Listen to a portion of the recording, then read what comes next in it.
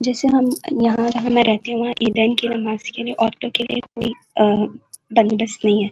तो हम कैसे अपनी ईदैन की नमाज़ अदा कर सकते हैं? जी ये परेशानी हिंदुस्तान में बहुत सारी जगहों पर है और अहनाफ के यहाँ ख़ास तौर से उनके यहाँ तो ईदैन की नमाज़ औरतों के लिए शजर ममनुआ बना दी गई है।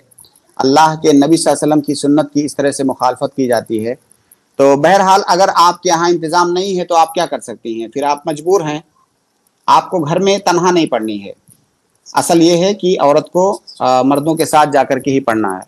जी शेख कुछ लोग ऐसा भी करते हैं कि सब औरतें एक साथ मिलके कहीं एक इलाके पे या फिर किसी के घर में ऐसे पढ़ते हैं नहीं नहीं बहन ये ये तरीका सही नहीं है। औरतों के लिए इस्तकलालन मुस्तकिल तौर से अलाहदा औरतों के लिए ईद की नमाज़ नहीं है। औरतों के लिए औरतें ईद की नमाज़ में मर्दों के ताबे हैं।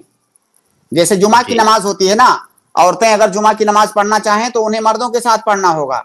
इसी हम्म। तरह ईद की नमाज़ औरतों की मर्दों के साथ ही होगी। मुस्तकिल तौर से औरतें ईद की नमाज़ कायम नहीं कर सकती। हाँ अगर कोई मर्द उन्हें पढ़ा रहा है तो आ, पढ़ सकती हैं वो।